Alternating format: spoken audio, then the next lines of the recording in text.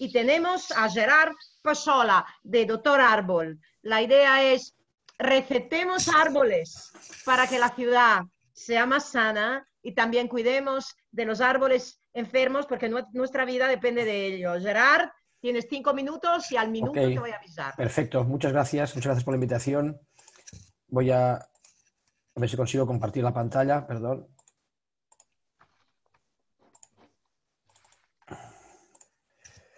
Bueno, eh, efectivamente, esta es una oportunidad para Madrid increíble, ¿no? Para poder eh, construir un, espacio nuevo, ¿no? Pero que hacer algunas reflexiones quizá que pueden ayudar a experiencias, que nos pueden ayudar a que este, este propuesta eh, llegue a su término de manera, de, manera correcta, ¿no? Primero, yo creo que es importante hacer un análisis también de que mm, necesitamos este bosque tan inmenso porque hemos generado una, una ciudad inmensa, excesiva, ¿no? que que ahora requiere esta gran, esa gran, digamos, eh, envergadura de proyecto, que es el Bosque Verde o el Bosque Metropolitano de Madrid, para mitigar, para curar el, Gran Madrid. ¿no? Quizá esto nos tiene que hacer pensar que quizá el modelo urbanístico de megaciudad puede ser un, modelo que no, que no cuadra de manera correcta. ¿no? Así que el, este, esta voluntad de ocupar ese espacio para impedir el incremento de la ciudad puede ser una, buena estrategia, ya solo para que bloquee y, digamos, reduzca ese crecimiento masivo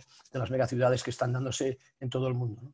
Eh, esto es una ciudad, ¿no? no es Madrid, es una ciudad, pero nos puede hacer una idea de lo que significa o de todos los defectos que tiene vivir un entorno tan, tan complicado. ¿no? Además, es eh, vemos en las noticias que aunque hay proyectos eh, que, que, pretenden reducir este impacto, sigue habiendo pues, esos pisos, micropisos que se están fabricando eh, para albergar, meter, compactar más la gente en esos entornos tan, tan poco humanos. ¿no?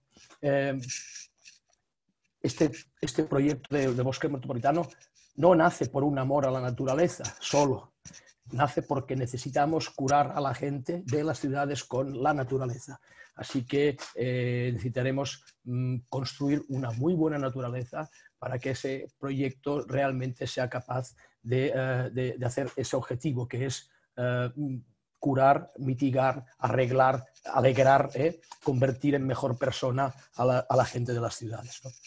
Este es una ciudad que tiene un gran parque público, ¿no? pero todo el mundo entiende que este parque público que está en, el inicio de, este, de, la base de la ciudad es incapaz de mitigar todo, digamos, todo el, defecto de construcción de este tipo de ciudad. ¿no? Así que esto es muy importante tenerlo en cuenta.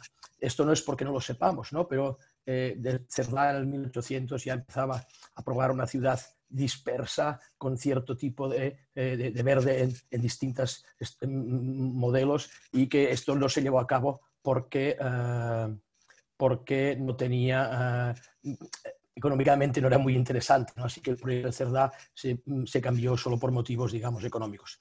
esta es nuestra intención en meter esto, la naturaleza dentro de la ciudad, por lo tanto debemos conocer las, las, las leyes de la naturaleza para que esto se vaya dando. ¿no? Las leyes de la naturaleza son las que nos van a, permitir meter en, la ciudad esos proyectos eh, para, hay que conocerlas, por lo tanto eh, necesitamos un esfuerzo técnico para mejorar suelos, plantaciones, etcétera, etcétera.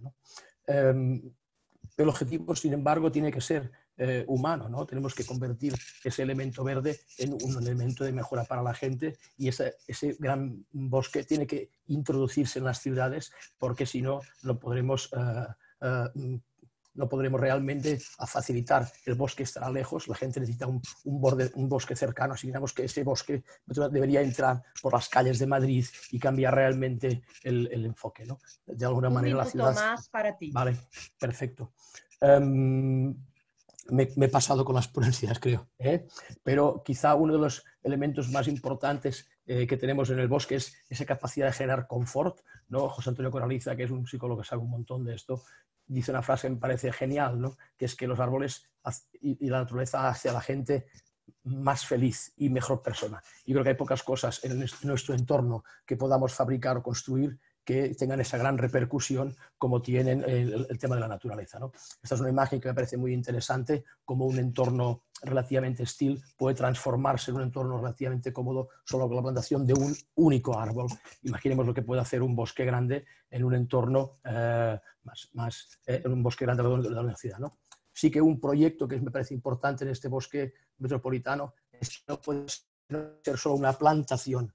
Tenemos que asegurarnos que vamos a conseguir árboles grandes, árboles inmensos, porque el beneficio de los árboles está asociado a su, a su envergadura. Una plantación mm, de este tipo, donde hay un gran proyecto, pero no conseguimos que eso finalice, termine, digamos, es un proyecto interesante, pero que acaba siendo un fracaso por la, digamos, la, ausencia de, de, de consecución de ese objetivo. Muchas gracias. Gracias, Gerard muchas ideas muy importantes. Nada nos da tanta felicidad como la naturaleza. Los árboles tienen que ser grandes para darnos todo lo que nos pueden dar. Llévate tus ideas al taller. Gracias a Javier, Miriam y Gerard para haber eh, dado sus aportaciones en este bloque 2, naturaleza como protectora de la salud y la biodiversidad.